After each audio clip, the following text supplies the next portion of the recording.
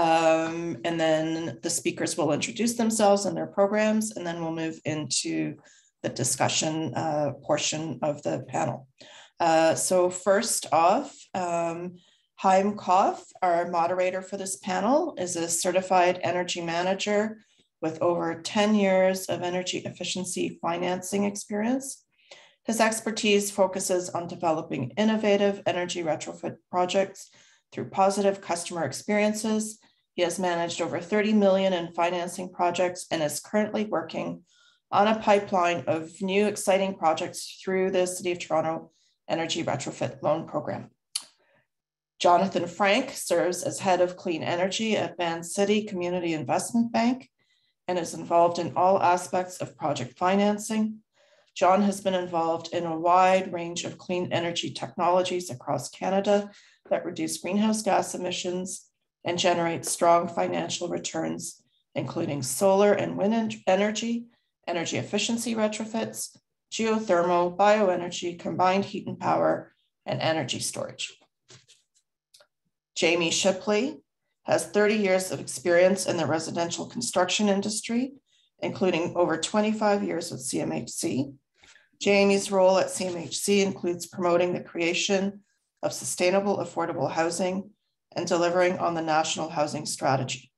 Jamie shares technical and social economic information about aging in place and affordable housing programs with builders, developers, renovators, planners, and housing design professionals across Ontario. Jen is the lead of sustainable housing at FCM. She led the design of the uh, sustainable affordable housing funding offer and now focuses on effective program opera, opera, operationalization and continuous improvement and strategic partnerships. Jen's experience encompasses all facets of improving affordable housing opportunities. Prior to joining FCM, Jen led the design and implementation of the City of Calgary's affordable housing strategy. Uh, Chandra Ramadurai is the CEO of Efficiency Capital. He brings over two decades of experience in clean energy, banking, and investment management in Canada the US, Europe, and Middle East and India. During his tenure, Efficiency Capital has grown from a startup to one of Canada's fastest growing companies, as selected by Globe and Mail's recent Top Growing Companies report. He is also the recipient of Canada's Clean 50 Award in 2021. Welcome, panel. Over to you, Chaim. Okay, good morning, everyone. Good morning, everyone. Um, so the way this panel will work is that we're going to do a quick overview of our specific programs and initiatives, and then we're going to turn it over to some questions and answers where we'll have an opportunity to, um, well, I'll have the opportunity actually to ask the panel some questions, and we'll get their answers, um, and then we're going to open up the floor uh, for any of the attendees to ask any questions. And you know, through the course of this presentation, please feel free to add your own comments to the chat um, and we'll get back to them um, once we've finished this initial uh, summary of our program. So I'll just lead off um, with the with uh, my program. So I just a little bit about the Better Buildings Partnership is it's the city's um, um, support building support program for energy efficiency and decarbonization. Um, so if we could just move to the next slide. Um, a little bit about the reason why we're doing this is because the city does have a 2040 net zero goal, um, and it includes different, and we've we've actually introduced a net zero building strategy, including many different um, strategies and recommendations for enabling these buildings um, to, to improve. Um, and without going through them, we're gonna just move on to the next slide. Um, so specifically within um, those nine strategies, we've focused on three different programs that we offer. Um, one is a navigation and support services program, which is a basic um, identification of projects. Um, we'll, we'll work with the building owner to really to identify the projects, and then we'll try to find other sources of funding or partners, um, which could include FCM, CMHC, Efficiency Capital, um, really trying to drive the project forward. We also have our own capital program, the Energy Retrofit Loans Program, that provides funding. Um, uh, some of the elements of the program are that the funds are advanced in, at the project start, and financing is available for up to 100% of the project cost. Um, I would just rec- um, just because of our audience today is not necessarily specific to the City of Toronto. Um, this program is only available uh, to those in the 416. Um, and then our final program that I wanted to introduce here is our Deep Retrofit Challenge. And this is really targeting the, those buildings that are doing large, very significant um, Im improvements to their building um, and decarbonization to their building because these are we're looking for almost um, or anywhere from 50 to 80 percent um, carbon and energy savings um, in the buildings but the grant that we're offering um, is up to $500,000 per building. So it's a very significant grant to enable you to move your project forward. Um, and with that, I think we'll turn this over to Jonathan.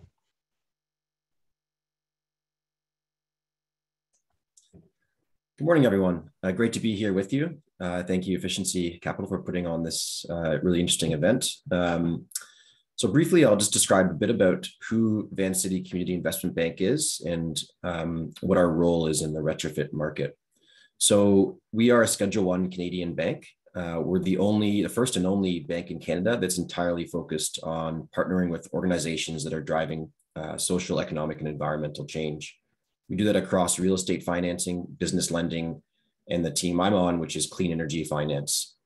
On the clean energy side, we um, we serve a, a, whole bunch of different technologies and different business models and uh, different jurisdictions across the can- across Canada. Um, Vancity, you may know more so as the credit union based in Vancouver.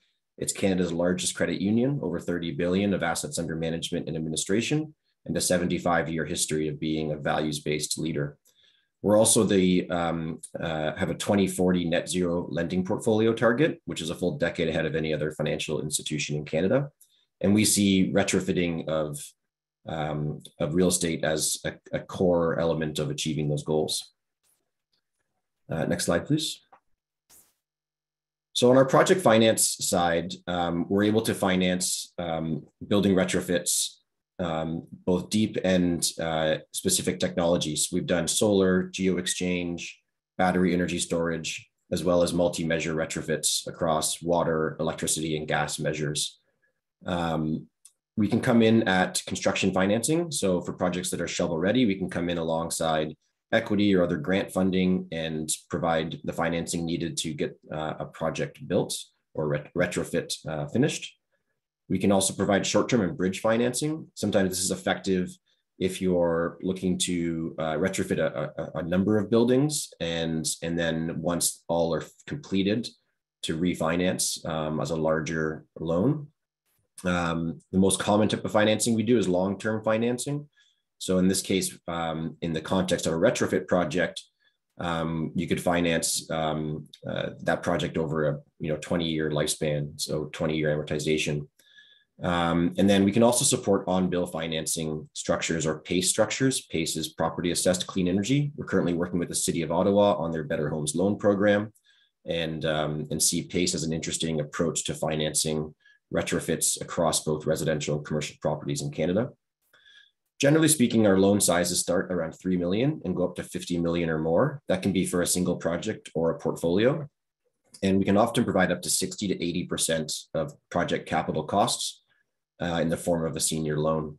In some cases, we can do 100% financing. One example was a geo exchange uh, project for a new build townhouse complex, where um, we provided the financing so that the condo corporation could purchase the geo system from the condo developer and thereby own and own their own heating and cooling system.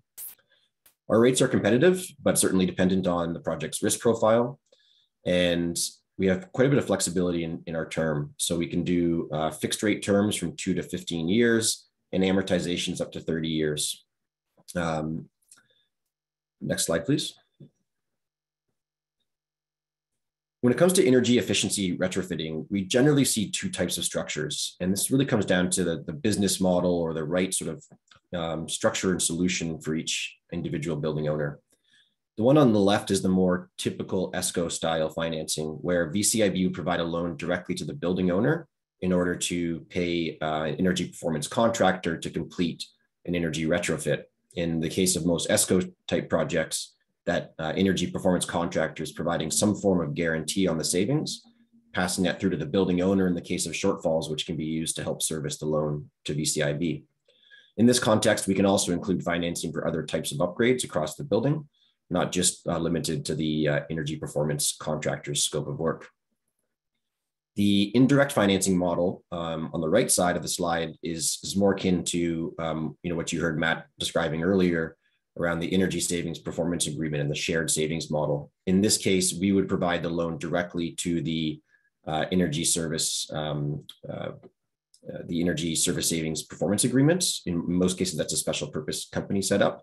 But in this case, you could almost imagine it as, as efficiency capital. And so the loan goes to, um, to that service provider, and then they're um, servicing that debt with us. So in this case, we're a step removed from the building owner, and the um, the ESPA provider is sort of the one-stop solution. And, and we've seen both these models be effective. It really depends on the case and context for the building owner. Next slide, please. Uh, briefly, I'll just describe this, um, this case study. So this model was um, the ESPA model, so on the right side of the last screen. So we provided a loan to an energy service company that then provided a shared savings retrofit solution to, um, to the end uh, building owner. In this case, it was a 1980s multifamily residential building, but 15 stories, 190 units. And the retrofit um, was about $640,000. And it replaced um, uh, makeup air units, uh, installed a condensing hot water boiler, high efficiency toilets and low flow shower heads, retrofitted the common area lighting and added insulation to select piping and decommissioning some redundant equipment. Uh, interestingly, the, the water savings is one of the, the more, more significant factors in the uh, overall payback here. Um, you can see the before and after um, uh, in, in the stats there around uh, utility cost savings and the GHG reductions. Uh, interestingly, this project was one of the first to receive the Investor Ready Energy Efficiency certification through the Canadian Green Building Council and, and GBI. Uh, in this case, that meant that the project was verified, the energy savings was verified by a third party, um, which is a, a, nice sort of value add to the building owner to confirm that these savings will be realized. And Efficiency Capital also has experience um, with this certification. Um, I think that's the last slide, but I'll just um, sort of close by saying that um, you know, our team has a wide range of experience across multiple technologies. We can support our clients across multiple business models. And uh, it's our mission to use the tools of finance to help our clients reduce carbon emissions and create a more sustainable tomorrow. So I'd love to work with you on your next project. Thank you.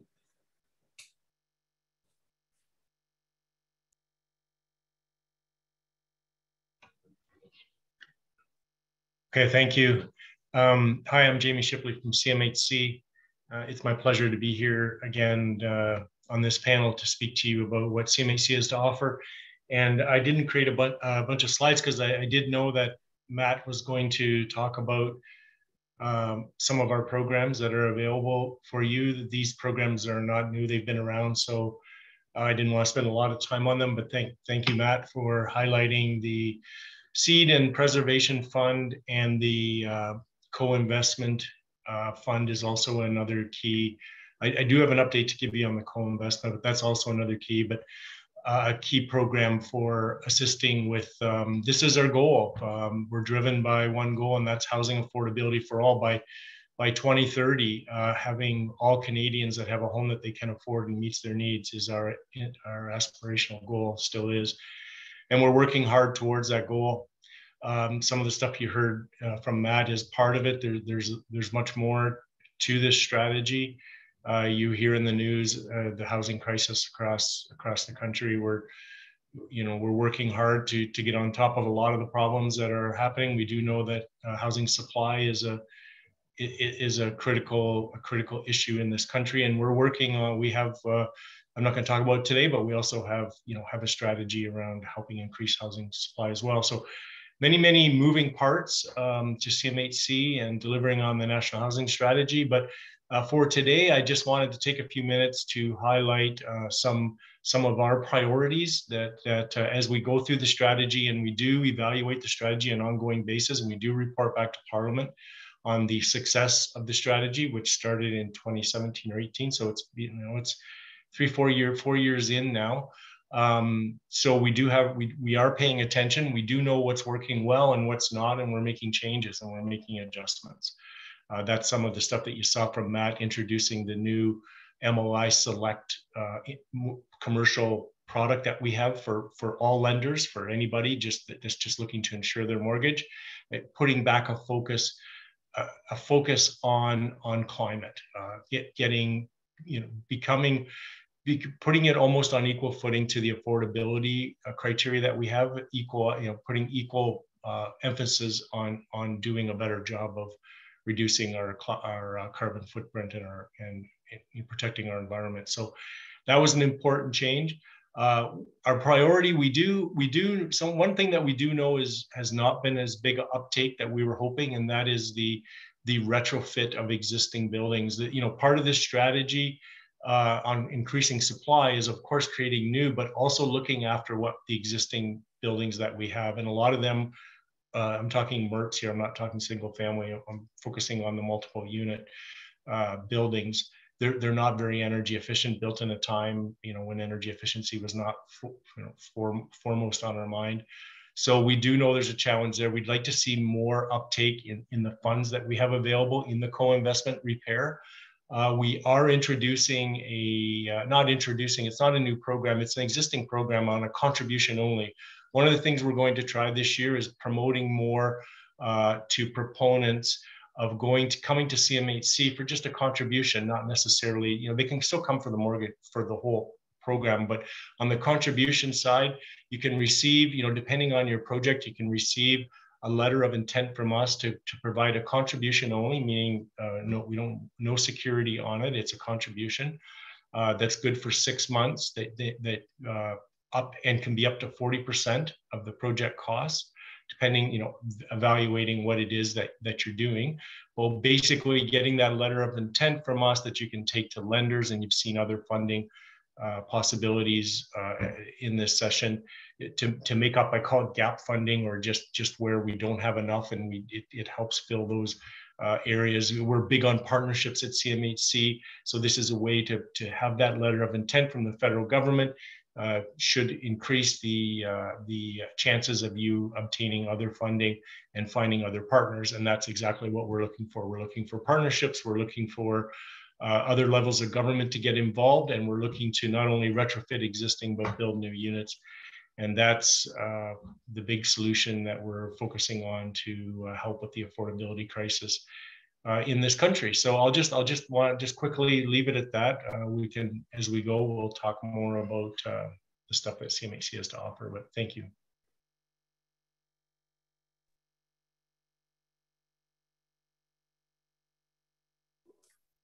Hi everyone, happy to be here. Uh, I'm from the Federation of Canadian Municipalities, the Green Municipal Fund, and specifically the Sustainable Affordable Housing Initiative. So next slide, please. Perfect. So the Sustainable Affordable Housing Initiative is a $300 million funding offer of FCM's Green Municipal Fund. It's aimed at supporting and incentivizing energy efficiency and affordable housing projects. The table on this slide outlines basically everything that we, we have to offer. I'm not going to go through all the details, just highlight a couple of things for you here. We've intentionally offered funding at every stage of a project from its very early inception with our planning grants, which offer a simple and fast application process and are intended to help get your energy efficiency retrofit off the ground, to studies which support more detailed planning pre-construction, like level two ASHRAE audits, through to construction supported by our capital project financing. For retrofits, our funding is intended to support providers in striving for deeper energy savings. So our capital financing offers a combination of grants and loans. And the grant portion is actually tied to the anticipated energy savings in a project, starting at 25% and up to 50%. So if a project anticipates a 25% reduction in energy use, it will receive a 25% grant. A 30% savings will give you a 30% grant and so on up to 50%. The grants are locked in upfront and will not change when the retrofit is completed. And the terms of our funding are 10, 20, or 30 years. Next slide, please. We also focus on developing the capacity of the affordable housing sector to undertake energy efficient projects with a number of resources on our website and initiatives underway, including a peer learning community of practice for early stage retrofit projects. A key pillar of this work I wanted to highlight here today is our Regional Energy Coach pilot, which is being delivered in partnership with the BC Nonprofit Housing Association, the Community Housing Transformation Centre, and the Cooperative Housing Federation of Canada. Through this program, we offer free services to help providers initiate an energy efficient retrofit project with walkthrough energy assessments, support identifying consultants or energy experts, or help identifying and applying to funding, and much more. So I'm looking forward to, to digging into all of this further in our discussion.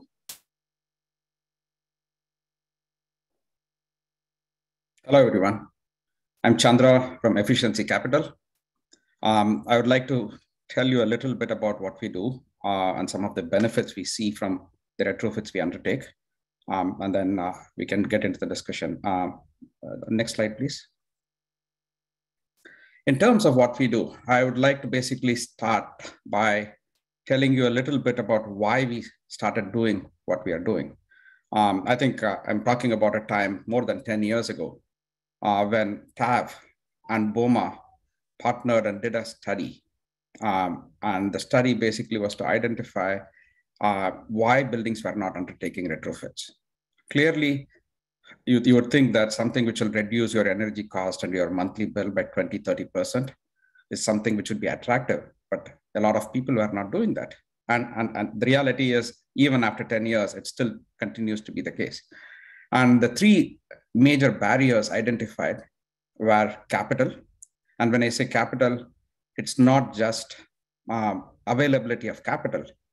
Even if you have the capital, question is what do you do with it? Do you go and upgrade your lobbies or, or your balconies? Or do you basically go and replace your boilers, which are very inefficient? So that's the biggest challenge uh, on one aspect. And that dives straight into the second major barrier, which is risk.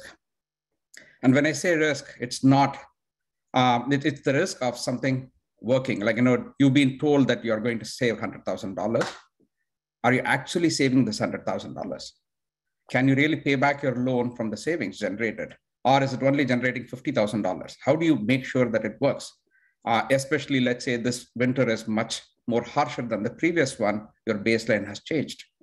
Uh, not to mention, there are also, there have been, unfortunately, the industry is replete with a lot of broken promises. I'm sure many of you here have actually had experience of this. Um, so that's the risk piece. So especially when risk becomes an uh, a component of it, capital doesn't flow enough. And the final piece is capacity.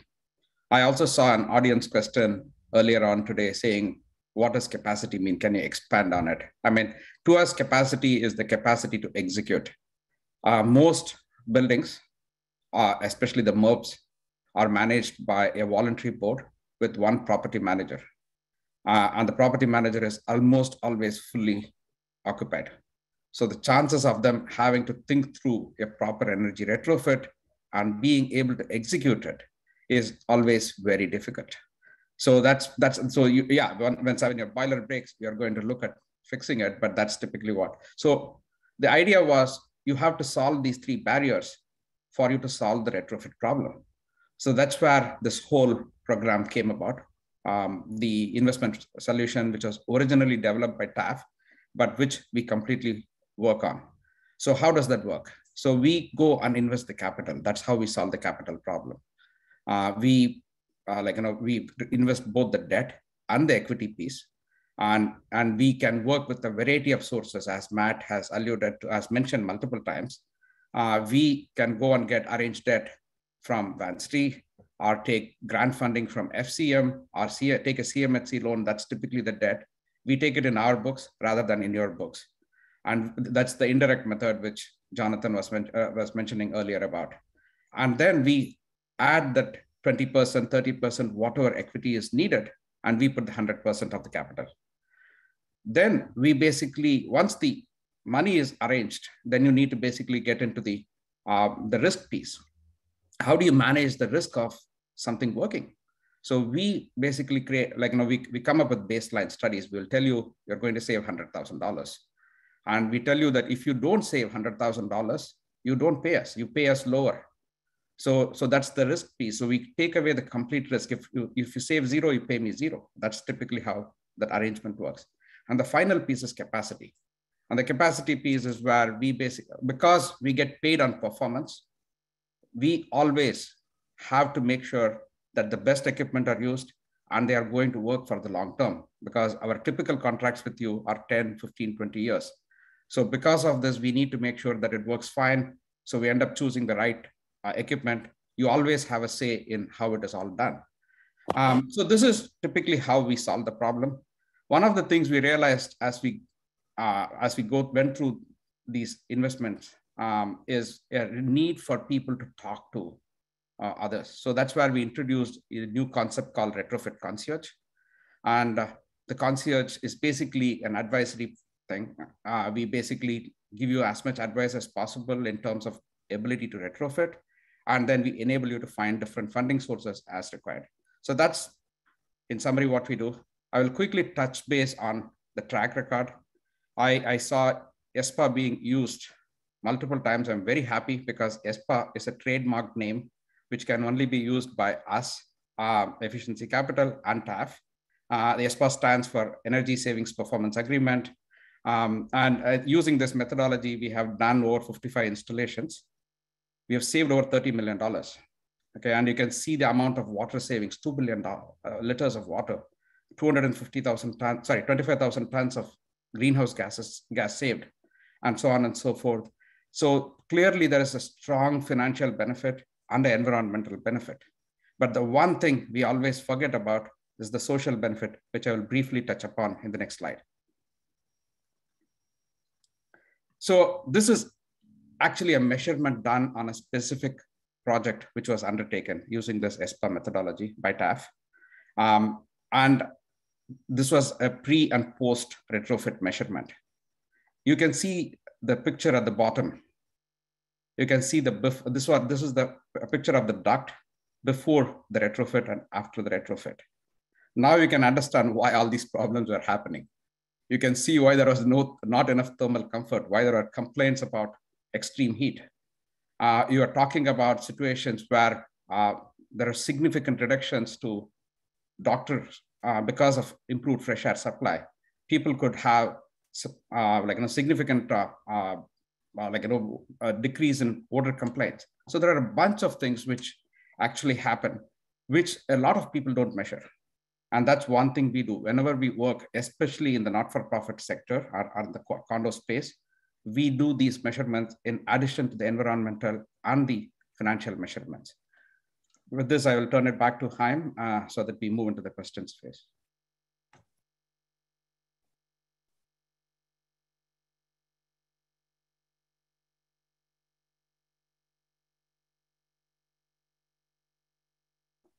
Chaim, you're muted.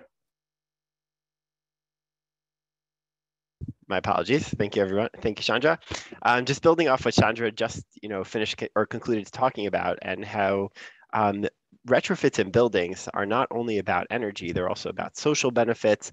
I thought like a good question to get us started would be about um, how or what do you consider when you're deciding uh, multi-unit residential retrofits? Should the focus be, um, or why do we this? Why why is sustainability, GHG, energy such an important factor um, in considering all of these different retrofits?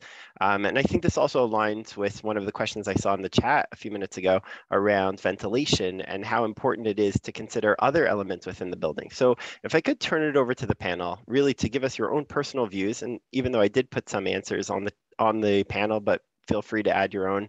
Um, it is what do you think is important when considering retrofit and especially really focusing on those GHG and energy efficiency elements? So any volunteers?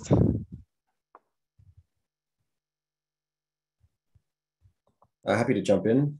Um, I agree with the the ones you have on the slide there. Um, the the energy cost savings are obviously a big one um, and as a mission driven lender for us the ghg reductions are really critical so we look for for both the cost savings and the ghg reductions um, in addition to the improvement um, of the building for residents, I think there's an element here where low cost financing can come in, um, where we can start to sort of multi-solve both climate um, and uh, and affordability issues. So I think that that'd be one I'd add in here is the the affordability. If we can reduce energy costs, um, we can hopefully also start to uh, to couple that with um, affordability improvements. Yeah. Maybe I can uh, just piggyback off that um, briefly because um, we did some work with the um, Canadian Urban Sustainability Practitioners Network around energy poverty specifically. So, in terms of the opportunities for affordability, I, I was really um, quite surprised to see how many uh, individuals living in non market housing actually were in energy poverty. Um, and when you look at those that are responsible for paying energy bills and are in energy poverty, and that we've measured at paying more than 6% of their uh, after tax income on energy, um, the national average is 3%.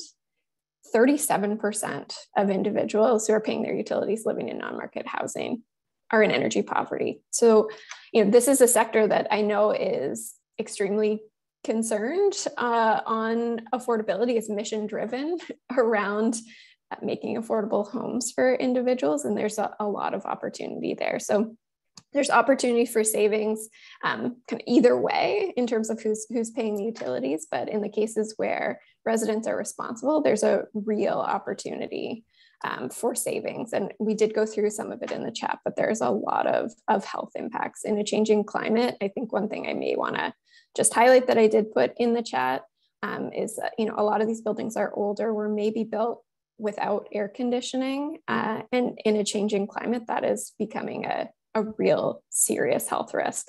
And when you are able to undertake uh, a retrofit in an efficient way, you can add cooling and still see cost savings overall. So you know, there's there's so many reasons that this is important, but just wanted to highlight those two.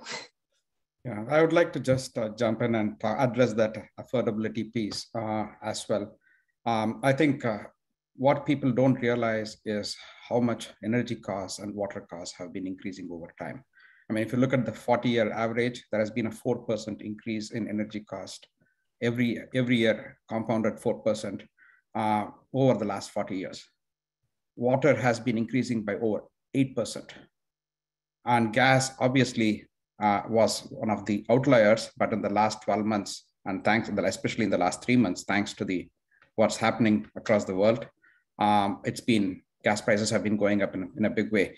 So people have started taking notice of a lot of these aspects.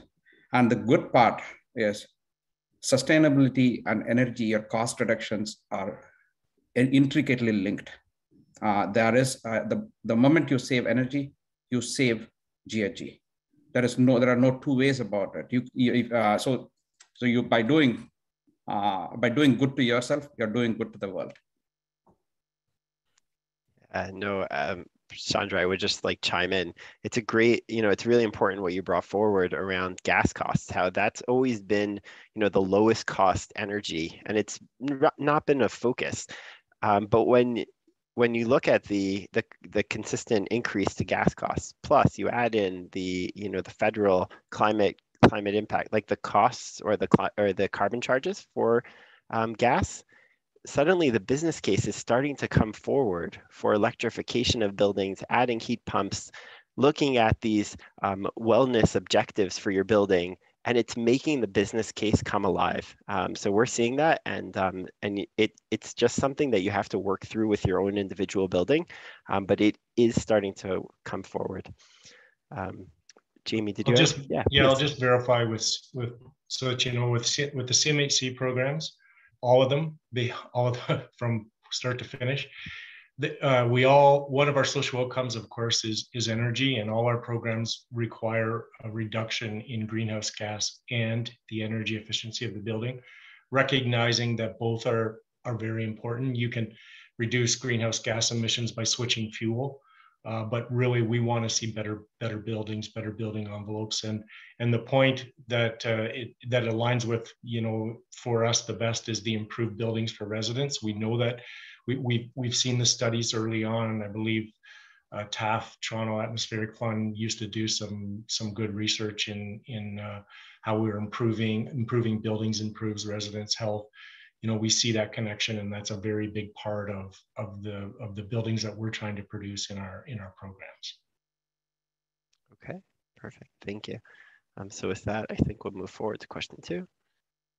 Okay um, so recognizing that we all have very varied programs and we are unique um, even though it sounds like we do service and provide a lot of similar supports um, there is there are specific I guess, elements that we're looking for in projects and willing to support and able to support. Um, and I thought we, this would be a good opportunity for the roundtable to discuss what is specific to your organization when you're looking at buildings, whether that be building size, location, age, administrative structure, um, affordability focus. Um, really, if you could spend a couple minutes just focusing people in, um, so that way attendees would know, you know, this is where this is a program that I really should pay particular interest in to um, and follow up with. So with that, I'll open the floor. I'm happy to go first on this. And uh, so uh, I think one of the, and this was also a question in the chat, so I probably think uh, it's a good place to address this. So the challenge with retrofits almost always is this. Most buildings need half a million, one million, two million dollars. Most lenders and investors want to give 10, 20, 30 million dollars in money. So the biggest challenge is mixing and matching this. So this is where someone like us come into play, my efficiency capital comes into play. What we do is we go and take capital in chunks. I mean, uh, there are talks about CIB programs. Um, VCIB provides capital. We have a bunch of different uh, uh, investors who invest through us. I mean, we go to C, uh, CMHC, we go to FCM in certain cases, we go to BBP, City of Toronto in some cases. We take loan from various sources and we go and deploy money in chunks. Um, so when we choose a building, we typically like to choose buildings which are typically over um, 15 years old because they have the maximum bang for the buck. And most buildings in Toronto are over 25 years old. Over 80% of the buildings in the Toronto GTA area, area I'm talking of MURB buildings, are over 25 years old. Uh, so we, we, we tend to focus on that. And, the other place is we, we don't work actually that much in the institutional space or the municipal buildings. We almost work exclusively with MURBs. Most of the 50 plus installations, 70% of the 50 plus installations have happened in MURBs, condos, co-ops, uh, and social housing. So this is typically our bread and butter. Um, and we also work with the commercial and the industrial buildings. And, and just to give you some quick statistic again, of the total energy consumed, less than 5% to 7% approximately is, uh, uh, is um, consumed by what we call institutional buildings, which is basically the municipalities, utility, uh, universities, schools, and hospitals segment. But 90% of these guaranteed energy saving mechanisms or, or the ESCO mechanisms happen in this particular segment, which means almost the, the entire uh, residential space, the commercial space, the industrial space has been ignored. So when we started our journey 10, uh, seven, eight years ago, we exclusively focused on these segments. So that's to give a, a quick uh, answer to, to, uh, to, to the question.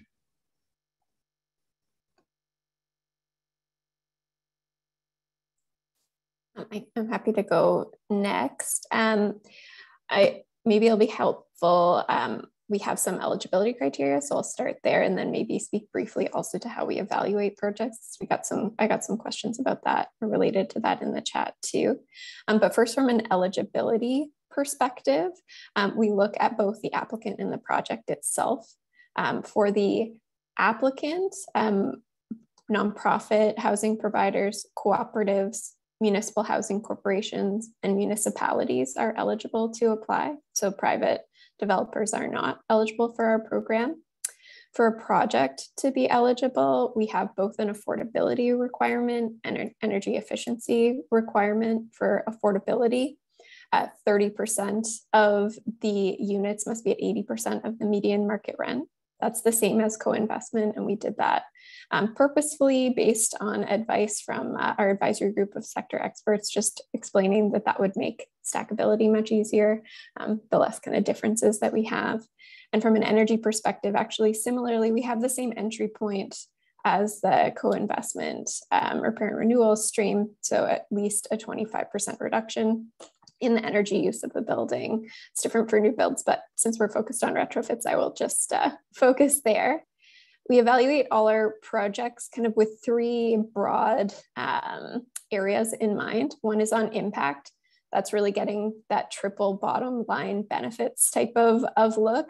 Obviously, the focus for us is the environmental impact, energy and GHG reductions are really important. Um, but we also look at the social and economic benefits with the environmental lens on it. So things like tenant comfort, um, and health and well-being and affordability are pieces that we consider in that impact sphere. We look at implementation, so really strong project management and financials. And then we look at transformative potential. So that's looking at, you know, is the project innovative? Is the project thinking about how lessons can be shared and replicated across the sector? So those are some of the pieces that we look at. We have an, um, an application guide on our website that has all of this information laid out pretty clearly for you. Um, in terms of the, the dollar amounts, we do have a maximum of $10 million. We don't have a minimum for capital projects specifically, but guidance we would typically give is, you know, if you're coming for less than $500,000 um, for a project, it's a lot of work for, for that kind of small amount. A question we get often as well is, do we do portfolio projects? Uh, we can, it would still need to be a maximum of $10 million. And each individual building within that portfolio would need to meet all of our eligibility criteria. I'll, I'll just build off Jen's message because uh, she is aligned with us in many ways. Uh, when it comes to project size, we have a uh, we have a min, uh, minimum size of five units. It must be greater five units or greater. Five affordable units and um, we do we do look at uh, when we're looking at projects we do priority score them. We do look at location close to amenities. We want to we want the location to be where people will thrive. So that's very important. Um, and other than that uh, oh the uh, stakeholder agreements we we do require another level of government to commit to the project as well. So we are looking for agreements. We as i mentioned the partnership piece under co-investment we do need another investor uh, but we also need uh, a commitment from another level of government as well. On top of that, just wanted to add. Uh, for Vancity, the most important factor for us is um, is project size, and this really builds on what Chandra was saying. In cases where projects are looking for less than three million, plus or minus a little bit, um, in in loan amount, um, it, it is best to go through an aggregator like an efficiency capital that can bundle projects and then come to us for larger loan facilities. Um, it's just the most uh, capital efficient way. Um, as far as building location, we operate across Canada. Um, and then the, the sort of size, age, um, uh, specific measures and savings, we would work alongside someone like Efficiency Capital to ensure that those are appropriate for the for the amount of financing being put forward. Uh, we do look for what we would call meaningful and measurable GHG reductions, um, but remain fairly flexible in what that looks like, given where the starting point of that building might be. Um, and so if you're, if you're doing more water retrofits, it may be a little more difficult to draw direct GHG um, parallel to that. Um, uh, but in most cases, we're working alongside someone like Efficiency Capital to, to evaluate the project and ensure that the, um, the economics and the energy savings and the GHG reductions are, are adequate and appropriate.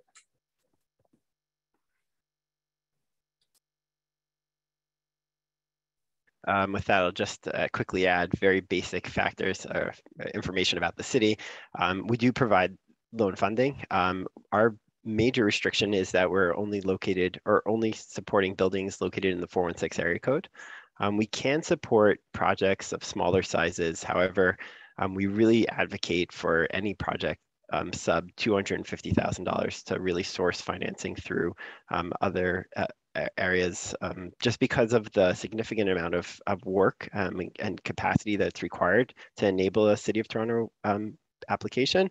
Um, so it's just not necessarily valuable enough uh, for the applicant, although we, we have had some unique smaller loans, um, especially when there's a significant amount of GHG savings opportunity. Um, so we really do encourage people to bring any project forward. Um, and the other key fact on the City of Toronto side is that we do have strict financial savings and business case requirements that need to be brought forward um, when considering any loan. So with that, I think we'll proceed to question number three. Um, we are very limited for time here. So I was told that heart, we have a hard stop at 11.50. So I'm going to open this up to the panelists. This is actually what I think one of the best slides from this panel today. Um, and it really provides a guide to what programs are available from the different panelists today, um, how and where, when you can seek support from them, what support they offer. And I almost I'm looking at this, and to me, this is a reference document for the future. Um, so in the next couple of minutes, I would ask people just to be very brief because we do also have some questions in the chat that I'd like to quickly address. Um, but please, um, if you want to just quickly discuss a little bit of your programs. Okay, rather than uh, waiting, uh, I will just go in and I'll be very brief. Uh, as you can see, we work through the entire value chain. Uh, if there are grants available, say from FCM or from uh, BBP or any of these people, we will go and obtain those grants and use that to upgrade uh, or do the studies. Typically, that's typically what how we how we work. Uh, so we don't uh, uh, end up always we always try to end up using the lowest cost funds. But just to give you a quick idea, we provide full funding for every stage. We do not charge the client. We roll all the costs of studies and everything into the capital cost of the upgrade. I will move, move it on to the next person. Um, maybe I will just briefly highlight two, three things. Um, our funding is, is clearly stackable. It was designed specifically with the National Housing Strategy in mind, um, but it's stackable with municipal, provincial, private funding as well. Um, the second thing is probably should have put that regional energy coach program that I mentioned in that pre-project um, planning bit, but I didn't. So just a note that that capacity development opportunity is there. Um, and then the post-construction piece is something we haven't talked about, but um, energy monitoring systems are a real great opportunity to kind of maximize the all of the work that is done on the, in a energy efficient retrofit project our funding can support an energy monitoring system, for example, to really be able to do that well and then do commissioning or recommissioning as needed. Um, so just wanted to highlight that too. And yes, quickly, CMHC uh, does encourage stacking and allow stacking. And the more we look at it, the more uh, the more investments and funds and people we have involved, the stronger the uh, the project should be. I'll just briefly describe what is meant um, by these, these brief words here. So by can provide guidance, what I mean there is that um, we're happy to be engaged earlier in your process. We don't have funding uh, usually available at those first few stages, um, but we can speak with you to see what kind of funding will be available to help you build your case, um, uh, including providing preliminary financing terms. At that detailed energy assessment level, we do have possible granting available. Every year, Vancity provides 30% of net profit back to the community in support of our mission. And so this is probably most appropriate for community housing or low income housing projects. And then the capital financing, of course, that, that's for construction, but also that's a you know typically a long-term loan. So we'll move in to post-occupancy, uh, post-construction phase. Um, and we do provide loan monitoring uh, support through that, that phase. But in most cases, that's being provided through someone like an efficiency capital. It's probably worth noting as well that we, you know, through our um, uh, commercial real estate team, you could look at options, um, and this is where the early guidance might be helpful, options to include a retrofit within your commercial mortgage at the time of refinancing your mortgage.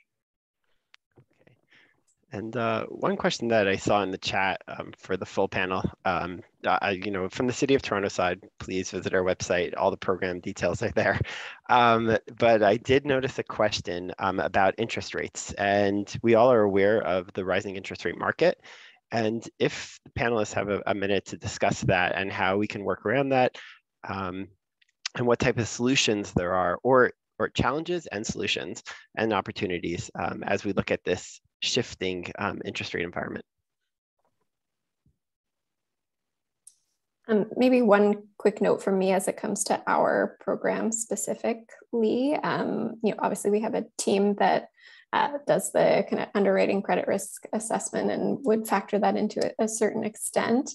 Um, but I mentioned our terms, our 10, 20, and 30 years. What I didn't mention is we will we lock in our interest rate at the contracting stage and don't change it. So there is some assurance for the entire term of your loan um, and certainty in terms of what that interest rate is going to, to look like. So that, you know, hopefully helps create some, some certainty um, in a rising interest rate environment. Same thing with us. Uh, we uh, we we work with providers like uh, um, FCM or CMHC or Vancity or others. So we have underlying loans which are fixed. So we will have a fixed return expectation. So we don't change our uh, returns. In fact, we take a percentage of the savings uh, and we do not take price risk. I think that was one of the other questions. So we typically only take volume risks. We want to ensure that the equipment installed works and it works fine. So, um, and that's typically how we go about it. Yeah, so CMHC, we, we lock in our interest rate also, but it's a 10-year term. And then uh, you're eligible for a second 10-year term. So, I mean, it's, it, it, it's not as great as what, what Jen offered, but um, it does give you a decade of a fixed rate and a strategy for how, how you're going to handle the second decade in, in, the, uh, in this environment of uh, rising interest rates uh, is about the best that I can we can do right now. Um, so certainly rates are going up. Um, if you have a project you've been sitting on, now's a good time to get started and uh, and lock in your financing. I think as you've heard, most most funding providers will provide fixed rates. Um, uh, we'll do the same. Um, typically rates are floating during construction and then fixed for 5, 10, 15 years um, uh, once you reach commercial operation. And we can work with you to evaluate those options to look at is a five year, 10 year, 15 year fixed rate uh, the best solution. And I think also as, as the cost of capital goes up, it puts additional emphasis on working with the right provider to ensure you're stacking the right energy efficiency retrofit measures to drive the most value. I think that's really the most sensitive um, element in your sensitivity analysis around the, the things like payback and IRR. Um, it's it's the the energy efficiency retrofit measures and, and probably a bit less so on the, the cost of capital time i, quickly want to just jump in on one specific point. I i know that uh, time like the, the time is a constraint but quickly to address one aspect of, uh, of like you know we have a 20 year program or a 20 year loan or a 20 year investment. We let our